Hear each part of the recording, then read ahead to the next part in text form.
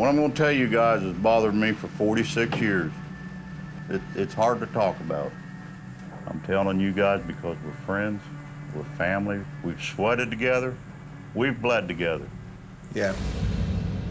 It started 46 years ago, 1969. We have a garden back here on top of the hill. We'd drive out here a couple times a week, help Grandpa hoe, pick weeds. Me and my brother, my mom, and my grandpa was back there. Well, this time we went back here on the hill of the garden. We're gonna pick beans. Well, we picked our bushel of beans, asked them if they'd eaten anything else. They said, nah, go ahead and run around for a while. We both grabbed a tomato, I'll remember that, because we was eating tomatoes. Thing to do. We worked our way out around this old horse trail. You get out there so far, it sort of drops off. Had saplings about 10 foot tall. And my brother threw a rock over the hill. And all of a sudden, something was taking these saplings like it was really pissed off and it was just beating these saplings back and forth.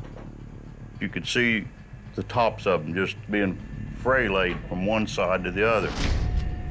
But we're watching this, and all of a sudden, this great big huge hand and forearm come up out of the tops of them brush and had a hold of this one tree right there. The forearm on this thing was that big around. Wow. My gosh. If this thing got a hold of your head, there is no doubt in my mind it'd squish you like a tomato. Huckleberry doesn't impress easy. For him to be impressed by this creature's forearms, this thing must be massive. It stepped up on this rock, and when it did, I got to see the shoulders. The shoulders was every bit this wide. And we pounded feet out of there. I mean, just as fast as we could run. There is no doubt in my mind whatsoever that I seen a Bigfoot that day. My grandpa told me that we should never talk about that. I wish to God I'd listened to him. People's been just downright mean. I mean, it, it's hard to talk about.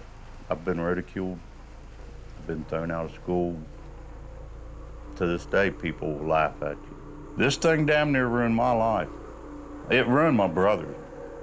My, my brother will not talk whatever about this. Wow.